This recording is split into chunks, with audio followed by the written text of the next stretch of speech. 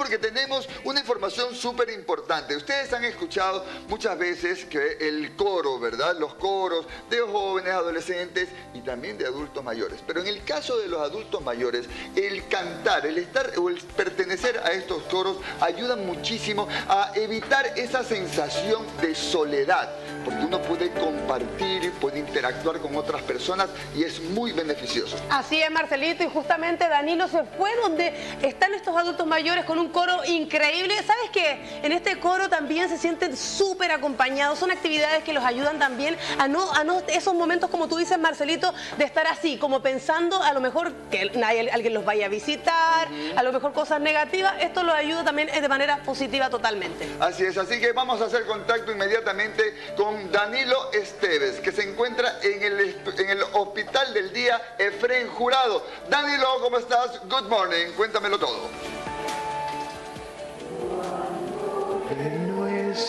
Nuestro amor. No la llama apasionada. No cantes. Jackie y Marcelo, hoy les llevo una actividad que es específicamente pues para Marcelito, nuestro gran amigo, pues el coro de la tercera edad. Tú no te hagas luchito que para ti también ya te toca. A mí, a, a mí también, no, a mí todavía me faltan algunos años, no tanto. bueno, es verdad, estoy aquí ante el coro, escuchando el coro de la tercera edad del Hospital del Día de Fren Jurado López. Y saben que este coro pues es dirigido por el doctor Carlos Villacresa, a quien vamos a entrevistar. Doctor, doctor, disculpe que lo interrumpe, mi doctor, pero vamos a preguntarle. ¿Cómo estás? Todos queremos saber cómo va el tema del coro de la tercera edad. Bueno, mira, este es un proyecto que se armó en el año 2011 en este hospital, eh, una actividad que fue creada para mejorar el estado cognitivo del adulto mayor. Eh, todavía tengo coristas fundadores, eh, uno de los beneficios de estar reunidos este, cantando para los adultos mayores, el- la memoria. Claro que sí, el- este tipo de actividad les ayuda a mantener su estado cognitivo, evita que el Alzheimer los ataque, evita que ese tipo de enfermedades, deterioro- deterioros propios de la, de la edad, eh, se alejen. Los mantiene ocupados, divertidos. Felices, si usted los ve, y ahorita que vas a conversar con ellos, espero que Las sonrisas que veo por ahí. ya, esos hablan por sí solos. Oiga, ¿y es cierto que se van a presentar prontito? Eh, sí, no. Fuera del país. Tenemos una presentación, gracias a Dios, en Panamá este 22 de octubre. Eh, así como hemos ido a otros países de Sudamérica, conocemos Chile, Colombia, Argentina, Uruguay, Perú, México y ahora que vamos a estar en Panamá, ¿no? Bueno, doctor, le agradezco. Yo voy a conversar con sus cantantes. Listo, todos tuyos. Bueno, vamos a conversar con algunos de ellos, algunas de ellas, a ver qué nos cuentan. Amiga, ¿cómo está? ¿Cómo se llama? Marta Bosque, ¿Ustedes desde cuándo están en el coro? 2011. ¡Wow! 2011, o sea que ya tiene bastantes años. bueno, 12, 12 años. Oiga, y se divierte mucho acá, se siente eh, como en, en familia. Como en familia y para nuestra memoria nos ha servido bastante. ¿Y ha visitado países? Sí, Bueno, muchísimas gracias. ¿Vieron? Están divertidos, les sirve mucho para su, para su salud física, mental, para, sus- para la parte social. Amiga, ¿cómo está? ¿Cómo se llama?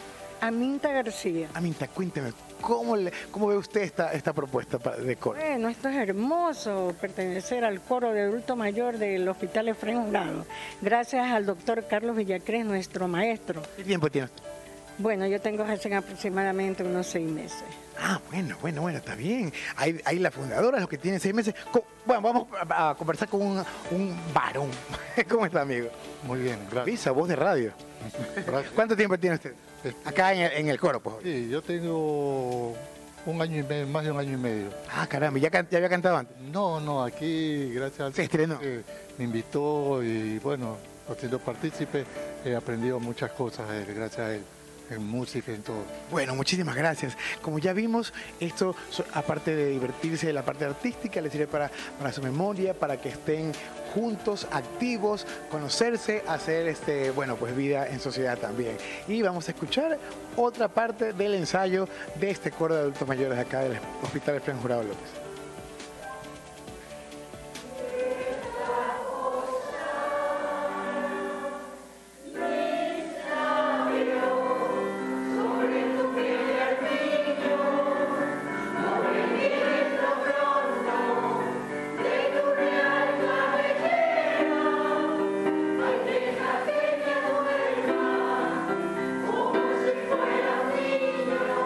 Qué lindo, qué lindo. De verdad estoy encantado.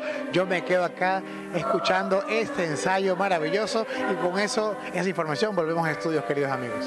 Muchísimas gracias, Danilo. Gracias también a todos nuestros adultos mayores también por compartir este momento. Y qué importante es eso, compartir. Muchos eh, de ellos en algún instante de su vida se sienten solos, no se sienten con algún tipo de actividad. Y esta es una oportunidad para conocer, para eh, manejar ese mismo, ese mismo ambiente, eh, los mismos temas, los mismos recuerdos. Así que eso es muy hermoso. Así es, Marcelito, totalmente positivo. Así que aplaudimos esta actividad maravillosa. 23 adultos mayores que realmente la están pasando increíble. Se van a Panamá a competir. Imagínense una experiencia realmente maravillosa, enriquecedora para esos seres humanos que realmente también se lo merecen. Así que bueno, aplauso. Con esta noticia positiva nos vamos con...